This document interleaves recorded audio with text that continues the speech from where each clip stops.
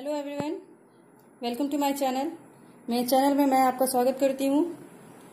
आज मैं आपके लिए एक खास रेसिपी लेके आई हूँ, जो कि बहुत ही फ़ेमस है और काफ़ी स्वादिष्ट होती है, जिसका नाम है दम आलू, जो कि काफ़ी फ़ेमस डिश है। और आज मैं उसे एक नए तरीके से बनाने जा रही हूँ। तो चलिए देखते हैं कि कैसे बनाते हैं, उसके लिए क्या क्या इंग्रेडिएंट की ज़रूरत है। पहले वो देख लेंगे। तो पहले हम इसके लिए उबला हुआ आलू लिए हैं यहाँ पे। और यहाँ प्याज लिए हैं, एक, दो प्याज ले लिए हैं हम यहाँ पे। यहाँ स्वाद अनुसार नमक लेना है आपको। और एक चम्मच हाफ़ चम्मच आप हल्दी का यूज़ कर सकते हैं। ये जीरा मैंने लिया यहाँ पे, ये धनिया पाउडर। ये यहाँ पे गोटा मसाला मैंने लिया हुआ यहाँ पे। ये धनिया, पत्ता लेना है कुछ। ये यहाँ पे मैंने काश्मीरी मिर्च ली हुई है। ये काफ़ी अच्छा कलर लाती है। और यहाँ थोड़ा सा एक चम्मच सौंफ यूज़ करना है। ये हींग। ये मैंने टमाटर का यूज़ किया हुआ है। टमाटर प्यूरी है ये। ये लहसुन अदरक का पेस्ट। ये दही मैंने यूज़ किया हुआ है। ये कटोरी हाफ़ कटोरी आप दही ले लीजिए, छोटा कटोरी है तो इसलिए यहाँ एक कटोरी है। तो आप यहाँ बड़े कटोरी से हाफ़ कटोरी ले सकते हैं। ये तेज पत्ता पहले ये जो मैंने उबला हुआ आलू लिया था तो उसको पहले हमें फॉक से इसे मैं छेद ले रही हूँ। इस तरह से, सारे में इस तरह से कर लीजिए, ताकि मसाला अच्छी तरह से अंदर जाए। अब मैंने इसमें आलू में हल्का आप हल्दी ले लीजिए। और लाल मिर्च, जो मैंने काश्मीरी लाल मिर्च लिया हुआ है, वो हल्का ले लें। और अब इसे इस तरह से घुमाते हुए इसे रख लें। हल्का सेलो फ्राई करेंगे। इसमें अच्छा कलर देखिए, मैंने यहाँ तेल गरम कर लिया है। इसमें मैं अब हल्का सौंफ डाल रही हूँ। थोड़ा हींग डाल रहे हैं। फिर जीरा, एक चम्मच आप ले लेंगे यहाँ। फिर यहाँ खड़ा मसाला, खड़ा गरम मसाला ले रहे हैं। और इसे अब हल्का भून लेना है, ताकि ये अच्छी तरह पक जाए। और हम इसमें ये लहसुन अदरक का पेस्ट जो मैंने यहाँ बनाया था, वो लेना है हल्का चला लें। और ये प्याज।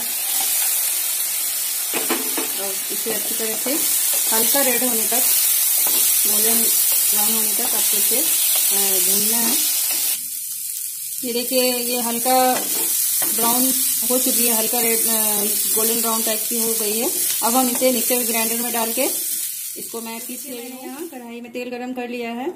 अब ये जो मैंने आलू लिया था, उपला हुआ आलू, और उसमें मैंने हल्दी और लाल मिर्च जो मिलाया था, अब उसे इसमें सेलो फ्राई करना है। एक एक करके इसमें डाल रहे हैं हम।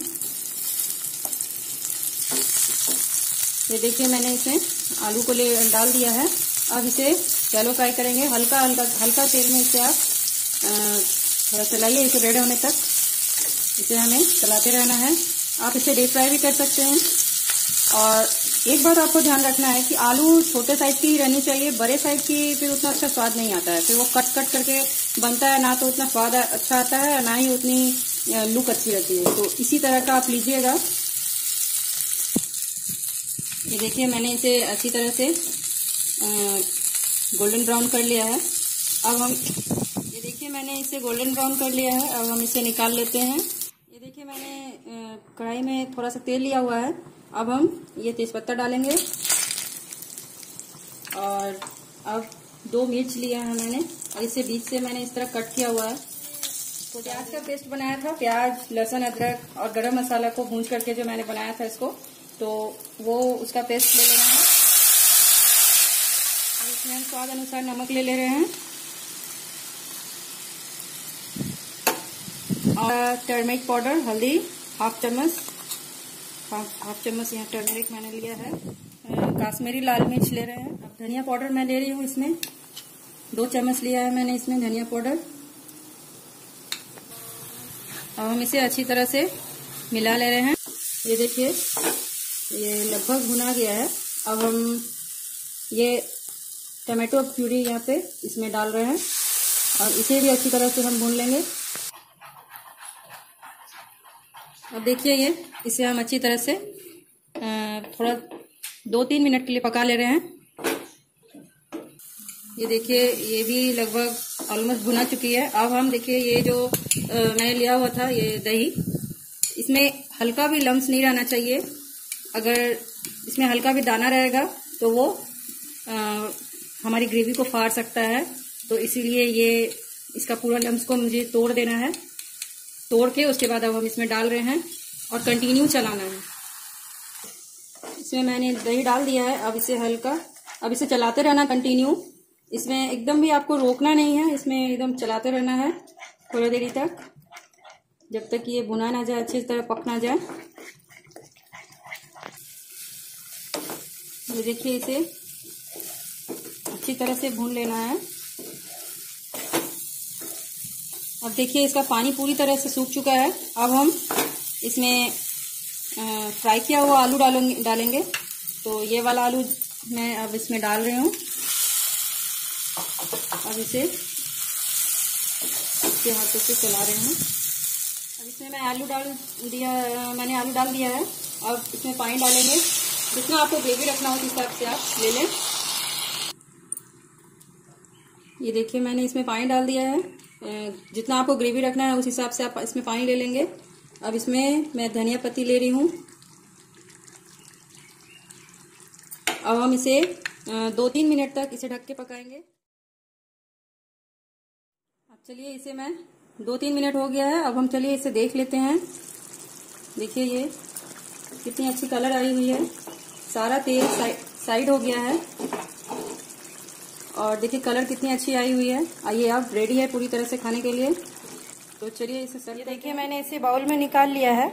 देखिए कितनी अच्छी कलर आई हुई है। और इसकी टेस्ट भी बहुत अच्छी होती है। आप इसे ज़रूर ट्राई कीजिएगा। और हमें ट्राई करके बताइए आपको कैसा लगा। और और भी अगर आपको कोई रेसिपी चाहिए तो मैं आप मुझे कमेंट बॉक्स के में लिख के बताइए। मैं वो रेसिपी और बना के अपलोड कर दूँगी। और अगर आपको ये वीडियो मेरी पसंद आती है तो प्लीज़ सब्सक्राइब करना ना भूलें और शेयर और लाइक करना भी ना भूलें और हमारे साथ बने रहने के लिए थैंक्स